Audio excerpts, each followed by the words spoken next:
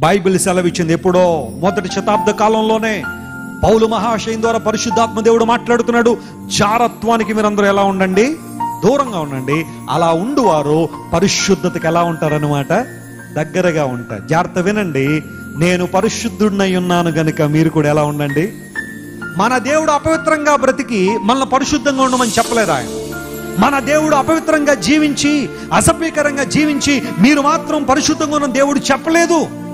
యేసు ప్రభులో ప్రపంచం నేర్చుకోగలిగిన ఒక అద్భుతమైన మాదిరి ఆనాడు ఈనాడు ఏనాడైనా మరెక్కడా దొరకని మాదిరి పరిశుద్ధత గట్టిగా చెప్పులు కొట్టి దేవుని అనుమయంపరచండి. Our God is holy one మన దేవుడు పరిశుద్ధుడు.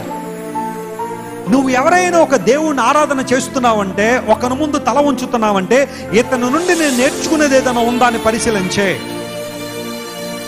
వాళ్ళ జీవితంలో ఏదైనా నేను అనుభవించుకోగలనా చూడు. కొంతమంది జీవితాలను పరిశీలన చేస్తే వాళ్ళు వాళ్ళు చేశామని చెప్పుకుంటున్న కార్యాలే ఈ రోజున కనుక ఎవరైనా చేస్తే తీసుకెళ్ళి సెంటర్ జైల్లో పెట్టేస్తారు వెంటనే. ఏమి నేర్చుకోగలవు వాళ్ళని చూసి నువ్వు?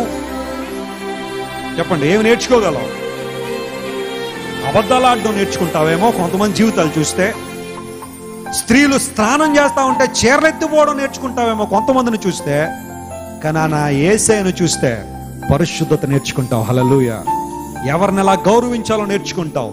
పవిత్రతలో ఎలా ఎదగాలో నేర్చుకుంటావు. కారణం ఏంటో తెలుసా? నా ఏసయ్య పరిశుద్ధతలో మాదిరి ఉంచాడు ఆయన. నాలో పాపమున్నదను మీలో ఎవరైనా స్థాపించగలరా? జారత్వానికి ఎవరైతే దూరంగా ఉంటారో పరిశుద్ధతకు వారు ఎలా ఉంటారు?